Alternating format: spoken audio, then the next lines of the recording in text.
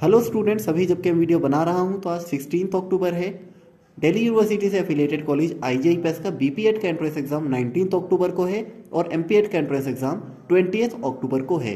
Admit card का notice आ चुका है, मैंने अपने टेलीग्राम चैनल पर डाल दिया था। नोटिस में लिखा हुआ है कि आपके एंट्रेंस एग्ज़ाम से तीन दिन पहले आपका एडमिट कार्ड आएगा। जिसका मतलब है कि बीपीएड का एडमिट कार्ड सेवनटीन से डाउनलोड होना स्टार्ट हो जाएगा और एमपीएड का एडमिट कार्ड एटीन से डाउनलोड होना स्टार्ट हो जाएगा। ठीक है स्टूडेंट्स तो इस वीडियो के डिस्क्रिप्शन मैंने लिंक दिया है। उस लिंक पर जाइए, अपना एप्लीकेशन नंबर डालिए, अपना डेट ऑफ़ बर्थ डालिए और एडमिट कार्ड को डाउनलोड कर लीजिए। सेवनटीन को बी और एटीन को एम अगर डाउनलोड करने में कोई प्रॉब्लम आ रही है तो आप कमेंट सेक्शन में लिख सकते हैं, मैं आपका कमेंट का रिप्लाई कर दूँगा।